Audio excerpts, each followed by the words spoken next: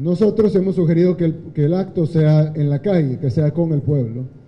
El alcalde gentilmente nos ha ofrecido eh, los permisos para hacerlo aquí en la Plaza Barrios, enfrente al Palacio Nacional, y nos creemos que sería un excelente lugar para hacerlo. El presupuesto está en el presupuesto general de la Nación, nadie está pensando gastar más, como también otros han querido decirlo. La Plaza Gerardo Barrios en el corazón de la capital se convertiría en el escenario donde por primera vez en la historia del país se llevaría a cabo una toma de posesión presidencial y en la que participaría la población salvadoreña. Al menos esa es la intención del mandatario electo, Nayib Bukele. Solo estamos hablando de hacer un traspaso de mando ante el que dio el poder al presidente, que es el pueblo salvadoreño, no los diputados. Los diputados deben de estar presentes por protocolo y pues se debe hacer un espacio para ellos, pero hacer en la Asamblea Legislativa, además, además de que no se ha hecho nunca, es absurdo. Pero el traspaso de mando del presidente electo continúa sin concretarse, pues según representantes de Nuevas Ideas, la comunicación con el gobierno central y la Asamblea Legislativa sigue en pausa. Ellos están cerrados al diálogo. Nosotros y sobre todo el presidente electo, que es el presidente electo Nayib Bukele, pues lo deberían de escuchar y bueno, tiene bastante lógica pues tomar en cuenta el pueblo salvadoreño. Los traspasos cuando se han dado de buena manera, eh, de partido a partido, entre comillas, de buena manera, se ha dado entre Saca, por ejemplo, y Funes, y ya sabemos cómo terminaron ambos.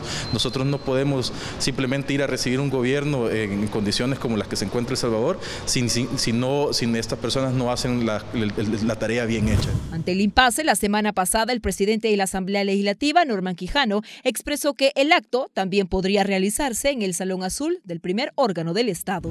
No les interesa el tema, la Asamblea Legislativa ha estado actuando, hemos visto las declaraciones de Norman Quijano de una forma bastante, hasta incluso prepotente, eh, que cuestiones que a él no le competen. A él le compete, sí, tomar la protesta porque él es el presidente de la Asamblea Legislativa, pero a él no le compete decir a dónde va a ser y cuándo. En otro tema.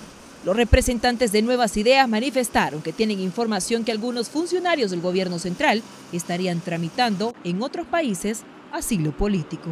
Hay unas cartas ahí de que en su momento se van a a divulgar, donde personas del FMLN y altos directivos están ya con cartas de intención preguntando a ciertos países y están en el sondeo de ese tema del asilo. Ellos son expertos en eso. Finalmente, también se refirieron a las declaraciones del ex canciller Hugo Martínez, quien en su momento dejó entrever que podría aportar al nuevo gobierno. Nadie le ha ofrecido nada a él. Él simplemente lo que quiere es llamar de algún tipo la atención y la recomendación es de que vaya al FMLN a hacer ese, e, esas, pantomimas o a decir de que no quiere, no quiere, quizás le va a funcionar en el FMLN y lo pongan de secretario en ese partido. Pero nosotros no le hemos, ni el presidente electo no le ha ofrecido absolutamente nada. Para el noticiero, Claudia Campos.